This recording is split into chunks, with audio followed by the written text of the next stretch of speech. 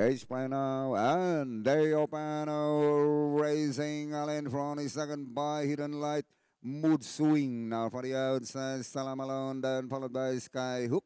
Next on line is Hamlet then followed by Rabiosa while Lemonada is running in a tail blue field as they leave the straight now.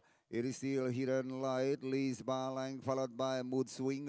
It's Hidden Light leads by Tribuna Balang, followed by Mood Swing. Five lengths away, Stella Malone, then followed by Sky Hook.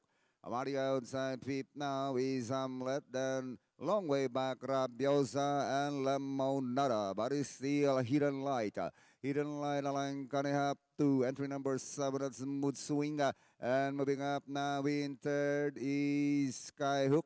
And here comes Stella Malone now for the outside as they raise the last 300. Uh, Hidden Light Sky Hook, Stella Malone, then followed by Mood Swing. Hamlet moving up now to take fourth as they swing for home. Uh, Hidden Light along shot still in front. Uh, being chased by Stella Malone for the outside down to the finish now. Uh, it is still Hidden Light. Stella Malone moving up Sky Hook.